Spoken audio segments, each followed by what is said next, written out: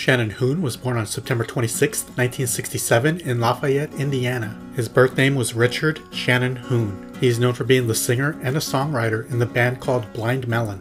His first band was called Styff Kytten, but it didn't last long. He moved to Los Angeles and met his Blind Melon bandmates. His sister was friends with Axl Rose in high school. After arriving in LA, he became friends with Axl. Shannon appeared in two Guns N' Roses songs called The Garden and Don't Cry. In 1992, Blind Melon released their debut album. Their video for No Rain was very memorable and featured a girl in a bee costume. My favorite songs on that album were Tones of Home and Change. They opened up for some huge bands including Ozzy, Guns N' Roses, and Soundgarden. Shannon was arrested in 1993 for disrobing and peeing on a fan from on stage. He was supposedly high on LSD while playing Woodstock 94. He was in and out of rehab. He was never married and had one daughter named Nico. Shortly after their second album called Soup was released, Shannon died from a cocaine overdose in 1995. He was 28 years old.